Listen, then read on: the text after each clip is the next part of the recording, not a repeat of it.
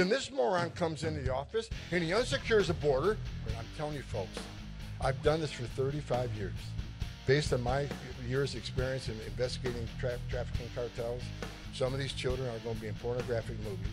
Some of these children are living with pedophiles, and some of these children are in forced labor.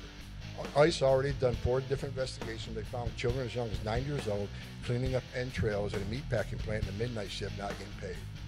Why would you release five or six female children to one male sponsor? Why would you do that? So God help these children. God help these children. I love kids. And, and this administration, I, I don't want to hear another word about you being humane. You're putting children at risk. Record number of Americans are dying. Record numbers of migrants are dying. There's one guy who can fix this shit, and it's Donald Trump.